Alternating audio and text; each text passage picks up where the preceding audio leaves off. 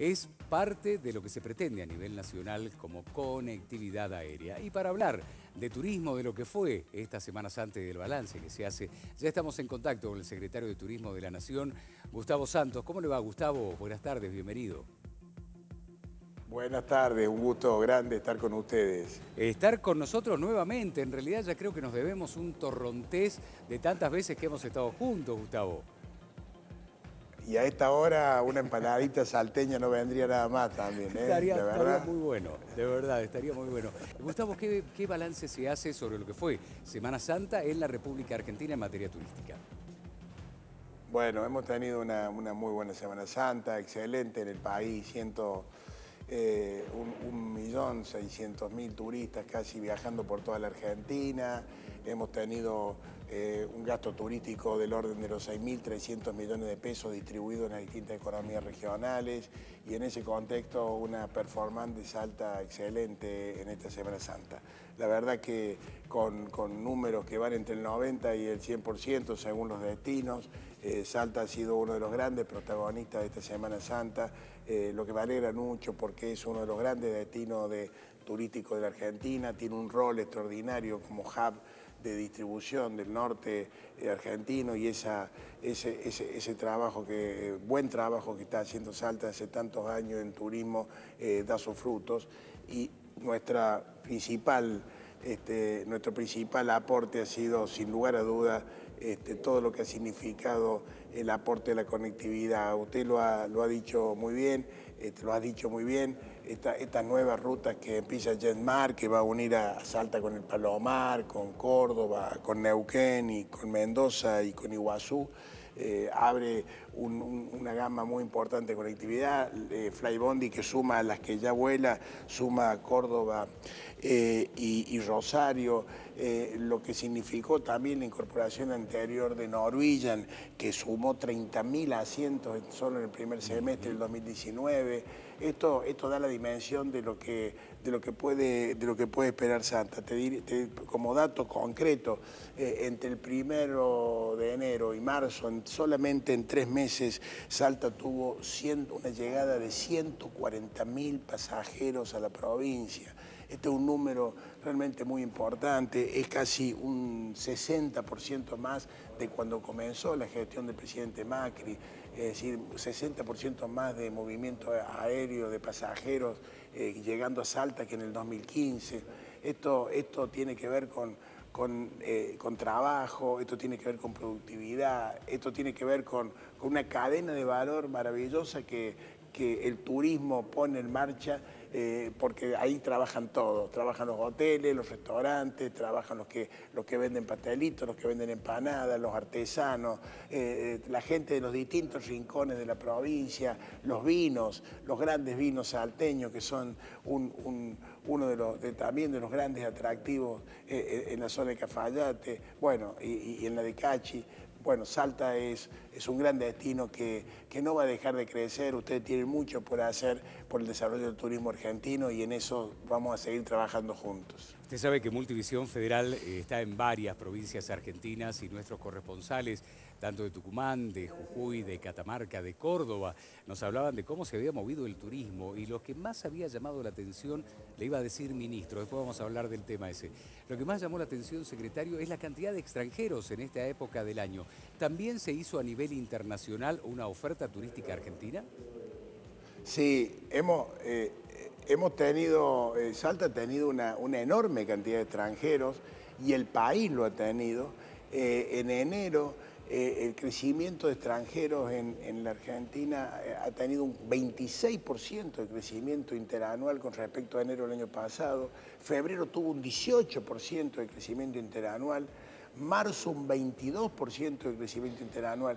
Esto para que ustedes vean en cifras globales ha significado algo así como que 2.300.000 extranjeros ya han llegado a la Argentina solamente en los tres primeros meses del año.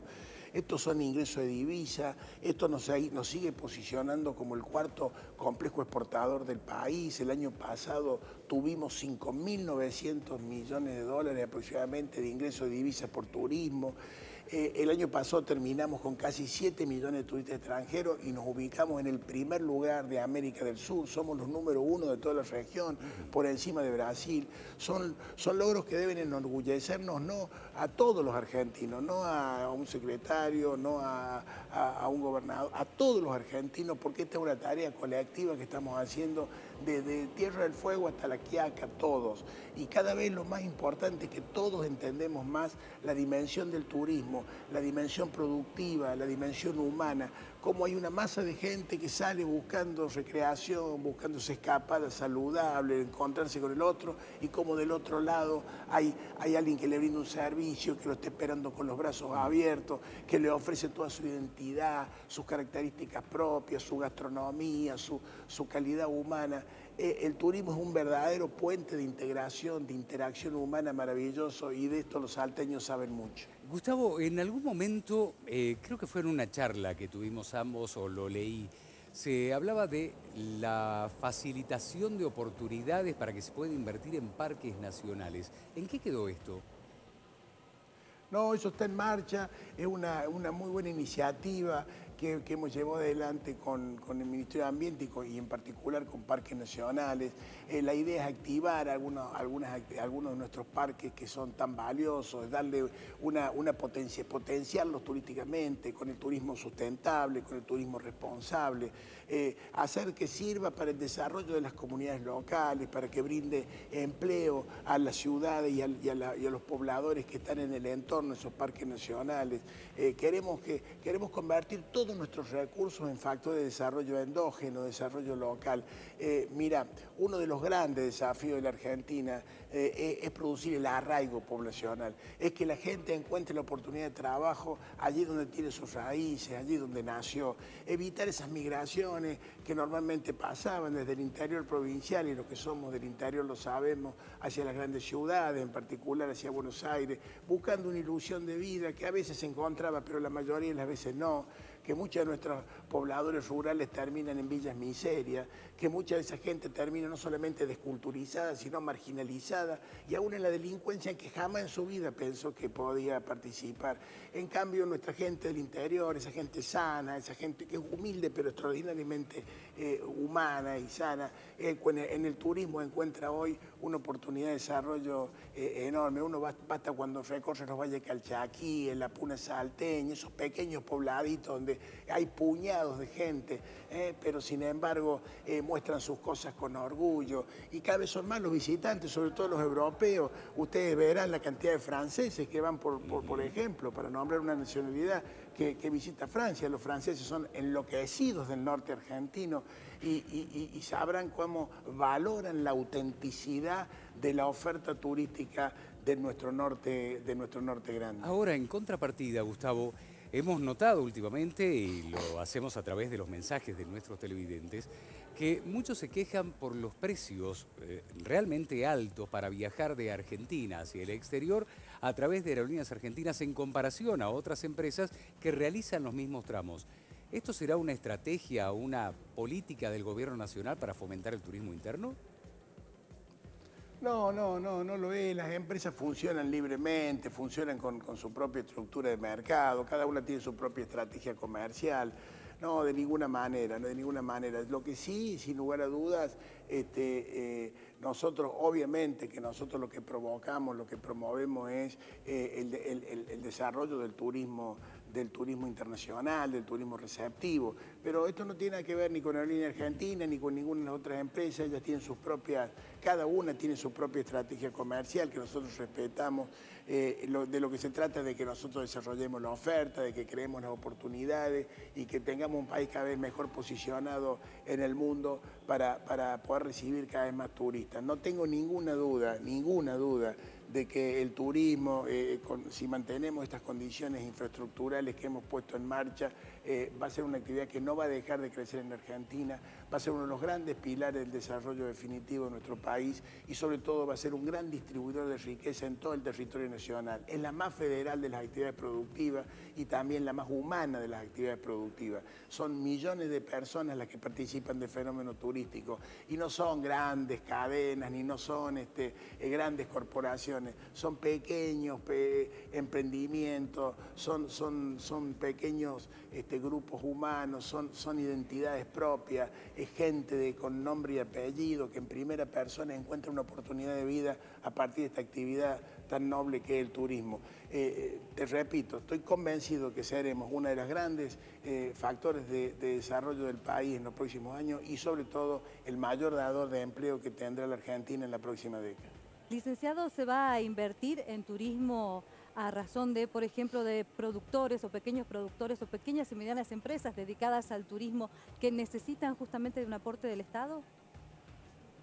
Sí, por supuesto. Mira, nuestro, nuestra área de, inversiones está permanentemente en contacto eh, con, todo lo que son los, las, los deseos de invertir en, cualquier lugar del país, pero también estamos muy atentos a los microemprendedores. Hemos lanzado recientemente un programa que se llama Fondetur, que apunta a eso, a incubar a pequeños microemprendimientos turísticos eh, y a partir de allí a sembrar una cantidad de oportunidades de trabajo, eh, de, autoempleo que, que un montón de argentinos creativos vinculados al turismo de cada rincón del país está poniendo en marcha. Eh, y en Salta tenemos ejemplos de, ese, tipo, de ese tipo también. Eh, Gustavo, si mal no recuerdo, fue el año pasado cuando estuvo acompañando al presidente Mauricio Macri en una visita a la localidad de Cachi y allí hubo un pedido muy especial. La posibilidad de pavimentar la ruta 40 desde San Carlos hasta donde llega pavimentada la ruta, rumbo al norte de nuestro país, casi en el límite con, con, un país limítrofe. Y no ha pasado nada por el momento. ¿Se va a tener en cuenta, por lo menos en este 2019?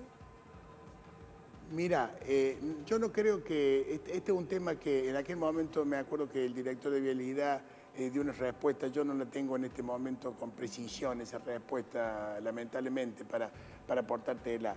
Pero, pero lo que sí te puedo decir es que todo lo que esté eh, dentro de las posibilidades se hará. y cuando digo esto, digo, estamos en un momento de la Argentina donde estamos produciendo, antes que nada, un gran desafío de, estabilidad macroeconómica. Argentina tiene que romper una inercia de desequilibrio de casi 70 años. Esto vamos haciendo un gran esfuerzo todos los argentinos en este sentido y, algunas de estas cosas este, este, tenemos que priorizar esto antes que cualquier otra cosa, el conjunto de los argentinos. Pero no tengas duda que cualquier obra que implique desarrollo, que implique sobre todo desarrollo turístico, está en agenda. Eh, el turismo eh, es una de las actividades estratégicas del país. El propio presidente Macri se ha puesto el turismo al hombro, no es, un, es una actividad absolutamente transversal que necesita que interactuemos con distintas áreas de gobierno, con todas las provincias, todo el tiempo. Por lo tanto, necesitamos que la máxima autoridad, y en este caso así lo ha hecho, el propio presidente se ha puesto al hombro el turismo argentino, porque sabe cabalmente, como lo sabe Salta, como lo sabe el país entero, como lo sabemos nosotros, que será una de las grandes oportunidades para que la familia argentina pueda tener mejor calidad de vida. Quedar entonces un torrontés y empanadas salteñas en un próximo encuentro. Gracias, secretario. Ha sido usted muy gentil. Por, favor, que son, que son tan ricas y que son también uno de los grandes motivos porque, por los que se visita esa, esa provincia, sin lugar a duda. Un abrazo muy grande a todos los amigos míos de Salta, que son muchos. A ustedes, muchachos, les deseo lo mejor. Muchísimas gracias, secretario. Ha sido usted muy gentil. Hasta luego. Así estuvimos con el secretario de Turismo de la Nación, el licenciado Gustavo Santos.